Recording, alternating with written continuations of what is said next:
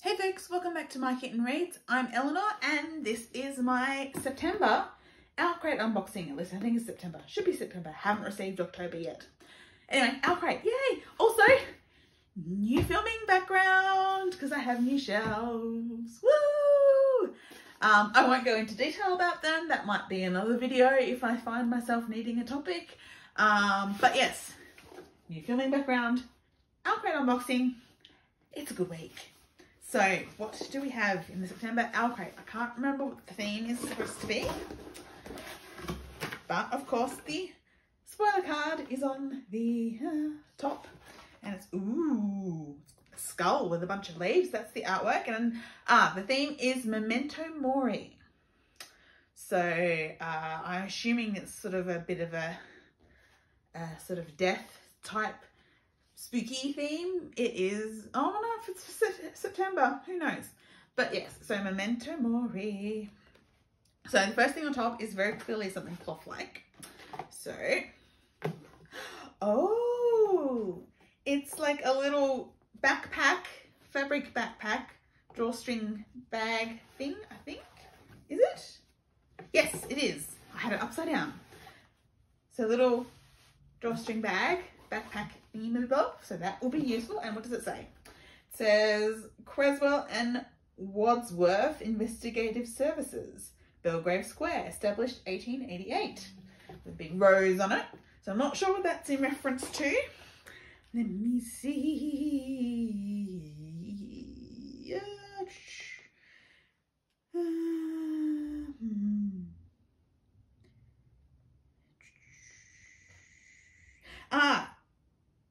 the artwork is by Lichen and Limestone and it's from something called Stalking Jack the Ripper.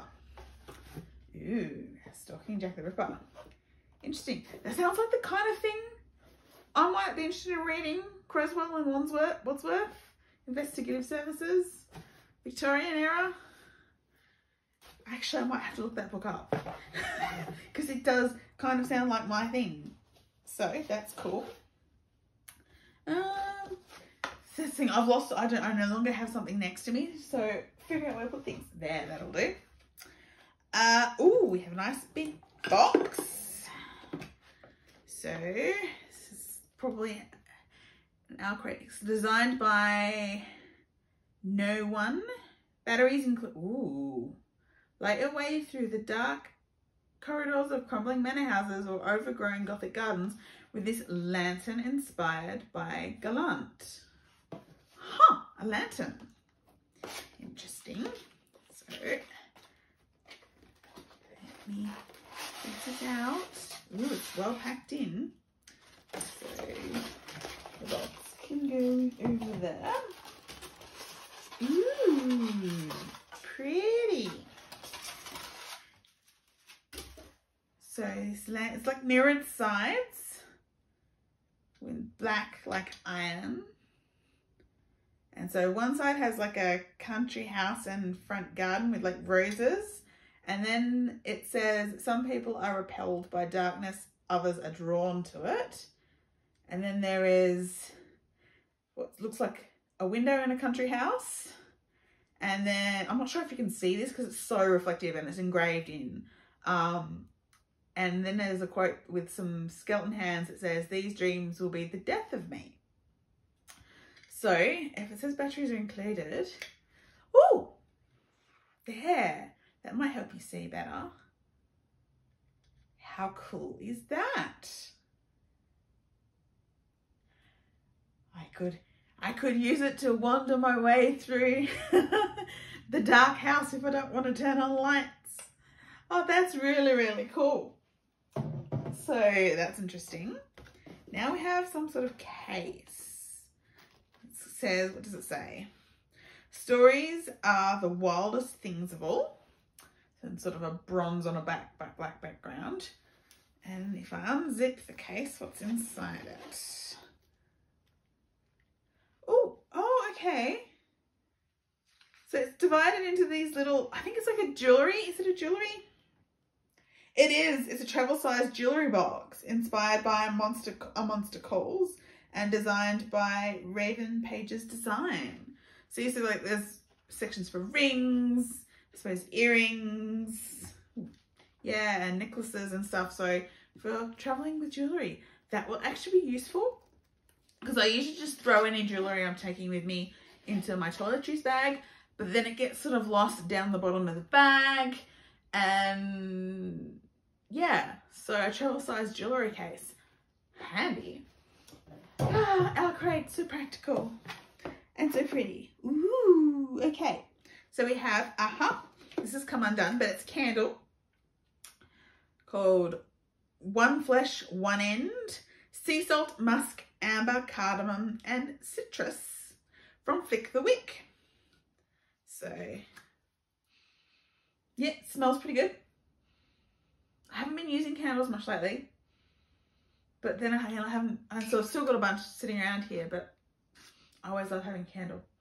It is a very nice scent. I can smell sort of the muskiness, but there's that sort of sea salt tang. Um, and sort of spicy citrus notes as well.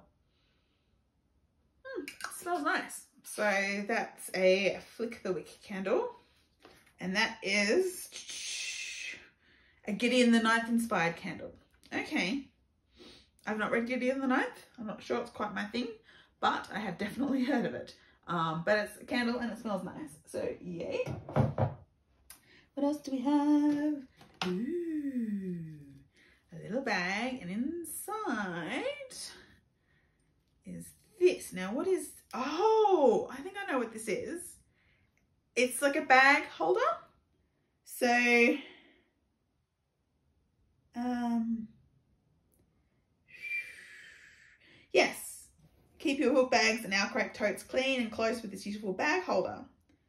So it's like you, you place this bit on the table surface and then you unhook it and you can hang your bags on it. So that is useful. Um, and it's got this design on it that says Memento Mori on a book.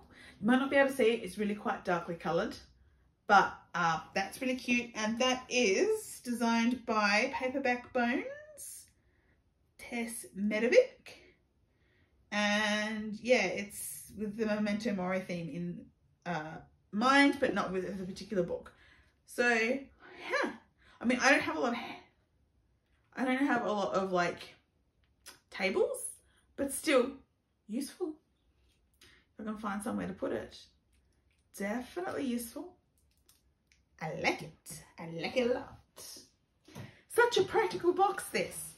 So then we have the luggage tag enamel pin, which is this month's, this year's enamel pin collection.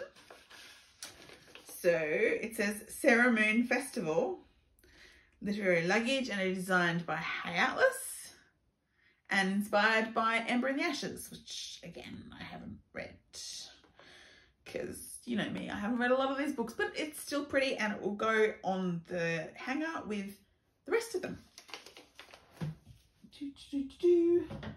Now, we have the book. And the book is The Depths by Nicole Lesperance.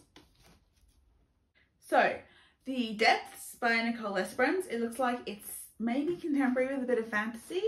Um, I'm not entirely sure. Essentially, the main character, Addie, is forced to go with her mother on her honeymoon to this small paradisical island.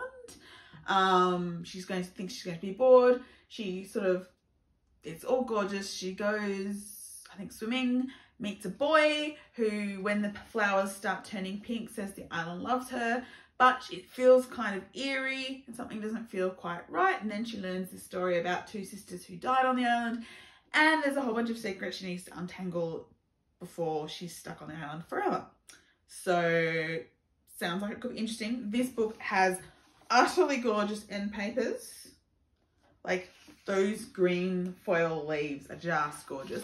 And then the cover under, I mean, there's the, there's the design at the back of the paper sleeve, but the actual cover itself, look how beautiful that is. So, very gorgeous book. Sounds kind of interesting, not too long, but yeah. Not an author I've read before, so it's what, 356 pages long. So interesting. Um, as usual with Owlcrate, there is a letter from the author. There is the newsletter for the month, which has got the usual puzzles and recommendations and interviews in it and all sorts of fun stuff.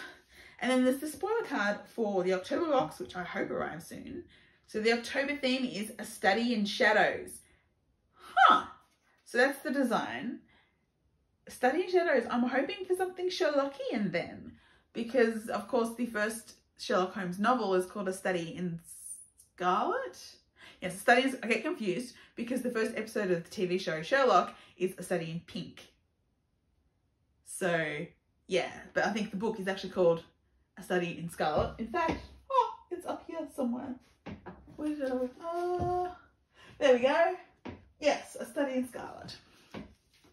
Uh, and the hint, ooh, the next box will have the next uh, paperback classic designed by Renner Illustration. That series of paperback classics that they're doing this year, which I already have uh, Mary Shelley's Frankenstein, which is over on the old bookshelves that you used to see, and uh, Pride and Prejudice, which is up there.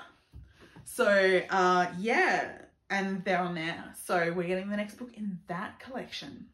So that'll be fun. Two books. So yeah, what was my favorite? Oh, what was my favorite thing? Um, I think maybe the candle and maybe the travel jewelry box because I can see actually that sort of fills a gap in in things uh, that I don't have. Not that I wear much jewelry these days, um, but often if I'm going, if I'm traveling, particularly if I'm going home for like Christmas or something, there's usually some sort of big family event thing happening. Um, I could have used it honestly when I went to the wedding uh, a couple of weeks back. Um, and those are the kind of things that I'm more likely to wear jewellery for. So having something to transport it in without it getting mixed up with all other stuff, that could actually be quite useful. So yeah, those are probably my favourite things. Although honestly, that lantern is pretty cute.